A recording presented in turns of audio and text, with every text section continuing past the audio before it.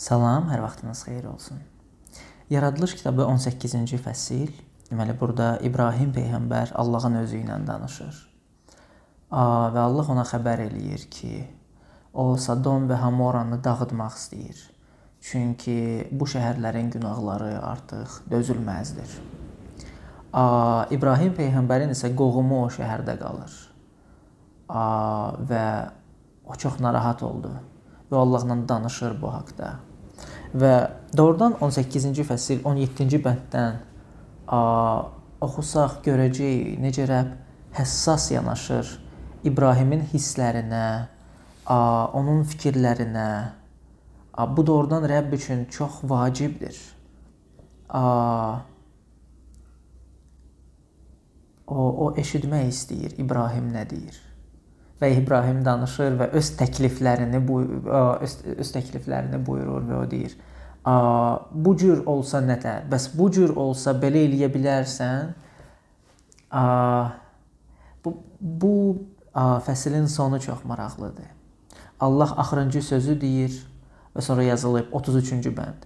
Rəbb İbrahimlə söhbətini bitirib getdi. İbrahim də öz yerinə qayıtdı. Mən düşünürdüm doğrudan, a necə Rəbb azaddır necə o sərbəst hiss eləyir özünü bizlə danışanda, bizlə ünsiyyətdə. A necə o manipulyasiyalara və bizim hansısa cəhdlərimizə ki, onu idarə eləyək. Necə o bunlara düşmür? Necə həqiqətən o bunlardan azaddır? Və bizi də necə azad eləyər bu şey o vaxt ki, biz başa düşsək, ki, Allah bunlara düşmür bizim fəndlərimiz ondan işləmir. Ki misal üçün mən inciyirəm Rəbdən.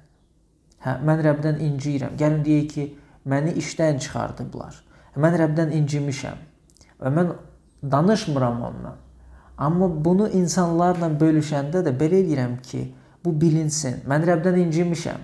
Amma o hər şeyi eləyə bilər. Onun onun üçün sadəcə lazımdır bax bu, bu, bu və bu punktları eləmək. Yəni mənə təzədən işə götürsünlər, vəziyyətim düzəlsin və s. və onda Rəbb biz bərpa ola bilərik münasibətdə mənim şərtlərimlə. A Allah isə o o azaddır doğrudan bundan. O bizə borclu deyil. Və əlbəttə ki, onun xoşuna gəlmir bu. Əlbəttə ki, onun xoşuna gəlmir bizim ünsiyyətimiz a, qırılanda. Amma buna görə o təşvişə düşüb demir ki, "Okay, indi mən nəsə eləməliyəm ki, bu insan məndən inciməsin." Və motiv bu deyil. O buna görə əməl eləmir ki, mən özümü ne necəsə aparım ki, insan məndən inciməsin. Bu deyil və bu fəndlər də heç vaxt işləməyəcək. Çünki Allah bundan azaddır. O mənim bu cür davranmağım Allahı bu xova salmır ki, indi mən məcburam belə eləyim, çünki belə eləməsəm, a, insan məndən inciyəcək. A, amma doğrudan necə onun bizim həyatımıza görə istəyi, a, onun məhəbbətindən qaynaqlanır. Və bunu bilmək çox vacibdir. A, bəli, Rəbb asılı deyil. A, o asılı deyil mənim manipulyasiyalarımdan, mənim o fəndlərimdən, hansı ki onu doğrudan necəsə harasa yönəldmək istəyir, aparmaq istəyir. A, o bunlardan asılı deyil. Amma eləcə də a, o məni sevir. O məni sevir və o məni eşitmək istəyir. Və məndən eşitmək ona çox xoşdur.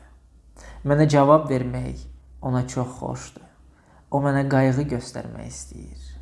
A, mən isə doğrudan onu idarə eləməyə çalışmalı deyiləm, amma öyrənməliyəm ki, onun məhəbbətinə etibar eləyim. Və həyat boyu mən bunu öyrənmək istəyirəm. Onun məhəbbətinə etibar eləməyi və bu cür münasibətə daxil olmağı. O münasibətə yox harda ki, mən çalışıram a, duanı o cür qurum ki, Rəbbi borclu çıxardım, sözlərimi o cür qurum və elə bir ki, nəsə alınmayanda doğrudan inciliyimi göstərim. Amma sadəlikdə Rəbbin məhəbbətinə etibar eləməyi. Bilirsiniz bunu demək istəyirəm. Rəbb istədiyini eləyir. Rəbb azaddır. Heç bir buxov yoxdur. Onu məcbur eləyən heç nə yoxdur. O azaddır və o istədiyini eləyir. A, və o bu cür də eləyəcək.